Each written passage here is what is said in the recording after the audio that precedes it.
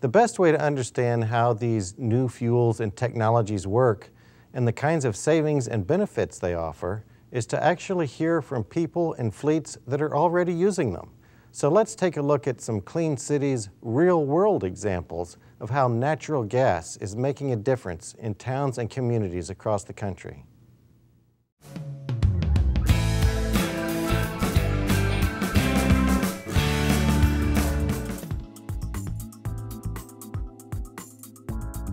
DTE Energy celebrated the installation of their 13th compressed natural gas fueling station on June 21st at the Louis Padnos Iron and Metal Company in Wyoming, Michigan.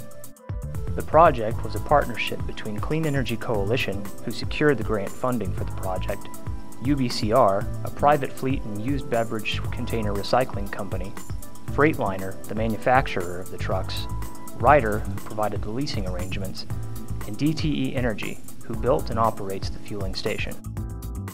Last year, Clean Energy Coalition partnered with DTE Energy and UBCR and provided a grant totaling nearly $1 million to help build the CNG fueling station you see here today, as well as one in Wixom, Michigan. Thanks to these efforts, UBCR will displace nearly 400,000 gallons of petroleum Jerry Norcia, president of DTE Energy, expresses three reasons why DTE is excited about CNG. It's clean, cheap, and abundant. And Jeff Schramm, general manager of UBCR, whose 18 trucks will get to enjoy the new fueling station, gives their reasons for switching the fleet to CNG. And the reason we went to compressed natural gas was it's so close to diesel and how it operates and how it performs, the engine for the trucks so very similar. Um, so the transition we thought would be easy. Um, you know, 85% of the natural gas comes from the United States.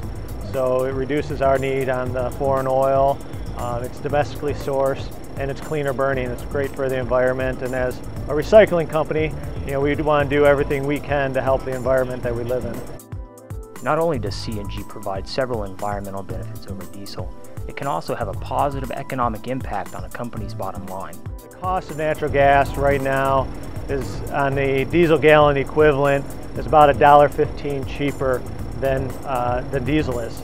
So, you know, simple math of saving a dollar a gallon on 360,000 gallons is, is pretty significant um, to us.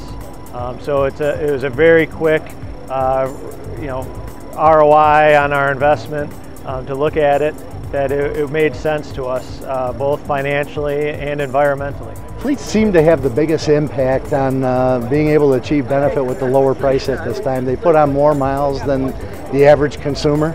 The cost of building the infrastructure that you see here today is quite expensive, and the truck market allows us to be able to get more fuel sales right off the bat and justify the capital investment.